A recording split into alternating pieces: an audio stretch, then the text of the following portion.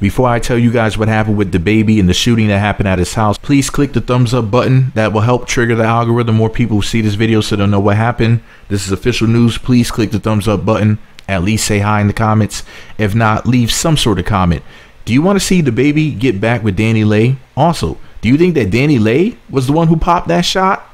Let me know in the comment section. Who do you think who you think popped the shot? Security, DaBaby, DaniLeigh, or somebody else? Listen to this. Shout out to the New York Times Post. News broke hours ago a quote unquote trespasser was shot at DaBaby's North Carolina home. As of right now, the trespasser or intruder is alive. According to a report from the Troutman Police Department yesterday, April 13th of 2022, when police arrived at DaBaby's house, they found someone who suffered a gunshot wound. The unarmed person was transported to a medical facility by the Iredell County EMS. What does EMS stand for? Somebody let me know that in the comment section. I, I, I don't know. Anyway, according to the New York Times Post, the shooter of the intruder is unknown. So they, they don't know who actually pulled the trigger as of right now. Therefore, whoever this trigger man or trigger woman's name is has not been released. Therefore, DaBaby may have defended his home or possibly security or someone else, maybe even DaniLeigh. The shooting happened near the football field on his property.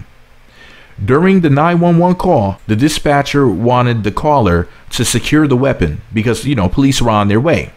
However, the caller said that there could be more intruders on the property and they made the wise decision to keep that heat nearby. Now, according to reports, the alleged intruder has not had his or her name released to the public just yet. Some speculate DaBaby may have been defending his home, However, considering his criminal past, he may have opted out of taking responsibility for what transpired, you know, just to stay out of getting into even more trouble than he's already been in.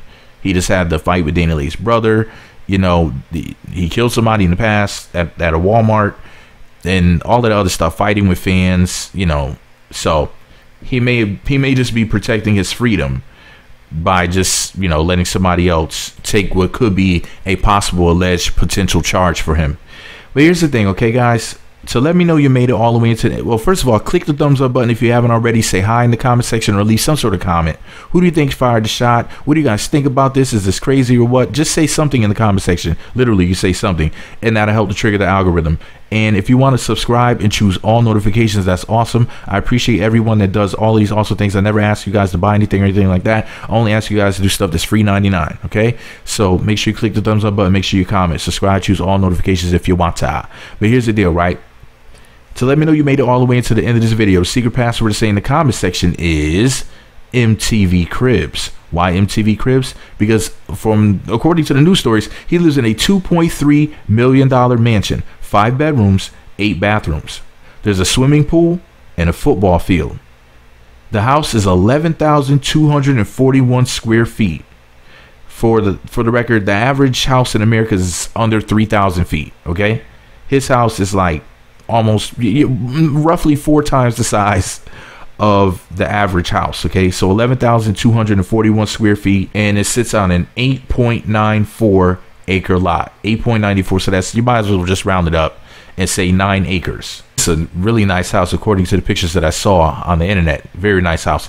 So shout out to DaBaby. Happy that you and yours are safe. Let me know what you guys think about it below. Click the thumbs up button. Make sure you leave a comment. Is that an MTV Crib style house or what?